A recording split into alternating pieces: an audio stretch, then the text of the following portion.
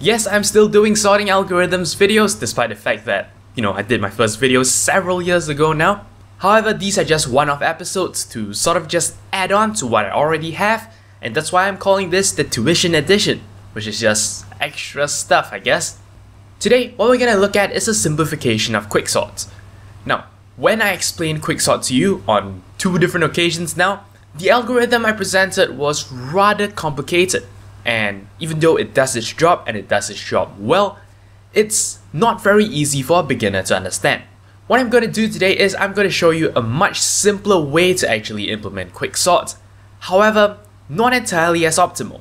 But yes, we'll get into this in its due course.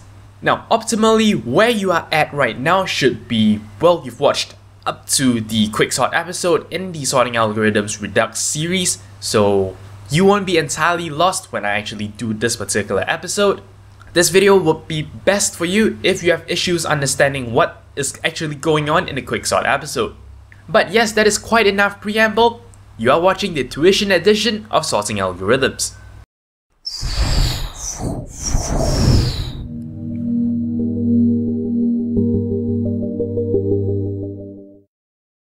So right, quicksort. I want to actually cover the whole concept of quicksort once again from scratch. So here's the deal. The whole idea of quicksort is this. I have an unsorted list and what I want to do is I want to actually partition this list into two different parts. To do this, I will pick a pivot and for the remaining items, I will basically split them into two groups, either items that are smaller than a pivot or items that are larger than a pivot. When I'm done with this, essentially what I have is, well, a list that looks like this. The pivot itself, which incidentally is already in the correct position in the entire sorted list, as well as two sublists, containing items that are smaller on the left and items that are larger on the right. When we have our list like this, we continue applying this algorithm recursively to each sublist. If you go down to your left sublist and you create two sublists, then go down to the smaller left sublist again, and keep doing this until, well, essentially your sublists go down to size 1 or 0. After all the recursion is done, you come up with a sorted list.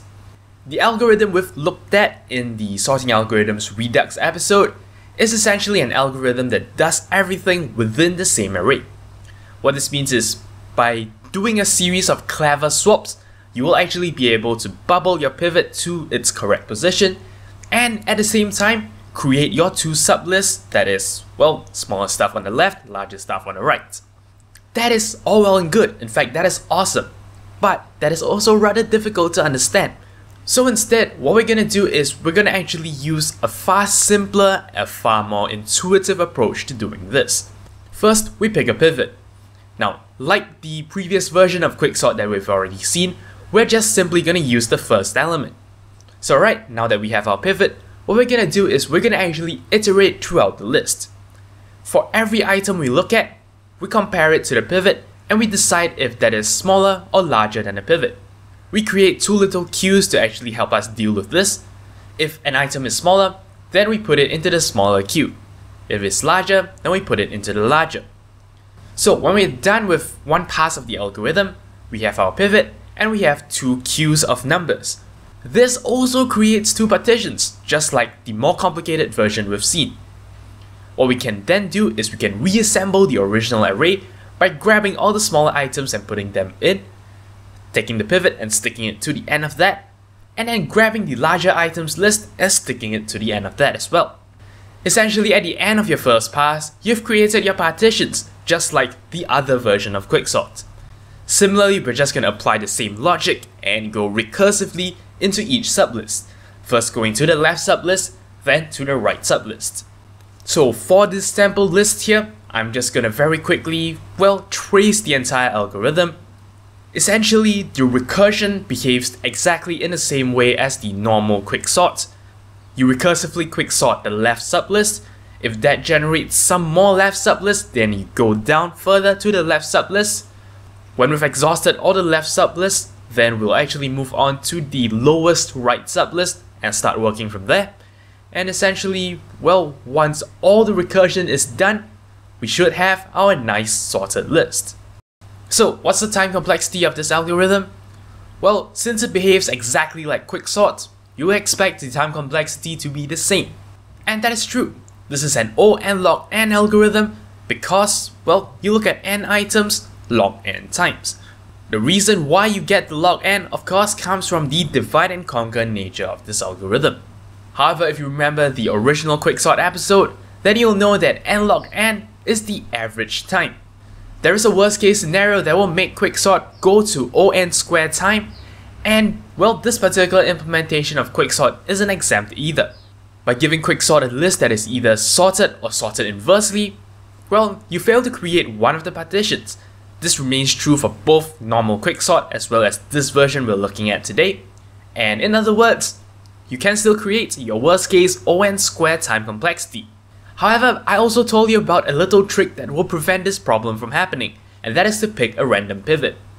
That works for normal quicksort, that also works for this version of quicksort. If for each pass of the algorithm you pick a random pivot and simply just partition everything else like you normally would, then the worst case scenario actually disappears. You have to be really unlucky to encounter the worst case scenario once again, and that actually pushes the worst case time complexity of quicksort up to O n log n. So then the question is, why shouldn't we do things like this? Now, this is clearly a far easier way to actually understand quicksort, but there is a reason why this isn't the most commonly used method. And the reason for this is that we need additional data structures to help us keep track of these smaller and larger items. What this means is this algorithm is no longer in place. Now, recall the definition of in place. Essentially, if an algorithm is in place, it is able to do its job without using any external data structures. That's what it means by in place. Your algorithm runs in the place of the original array. Since this version of Quicksort requires additional data structures to be created, it's not in place, and therefore is less optimal than the other version of Quicksort we've seen. In fact, the space complexity of this version of Quicksort is ON. Now, why do we say this? Take a look at your first pass of the algorithm. Essentially, you create two queues that add up to n minus 1 items. Why n minus 1? Well, this is your original list, it contains n items. The pivot doesn't go into any one of those two queues, but everything else does. That's why it's n minus 1, and under the big O notation, this becomes ON. This space complexity also means trouble because the larger your list, the more memory you're gonna need to actually run this version of Quicksort. The original version of Quicksort has an O1 space complexity because whether you give it 10 items or 1000 items, well, you just have that couple of variables. That is your left pointer, your right pointer, and your pivot pointer. So yeah, that basically wraps it up for this episode of Sorting Algorithms, Tuition Edition. I hope this has given you better insight into how Quicksort works Hopefully, this episode has given you a more gradual introduction to Quicksort as opposed to just throwing you right into it, which was kind of what I did for the original version. Despite the fact that we've seen two different ways in which we can do quicksorts, don't forget that ultimately the concept remains the same.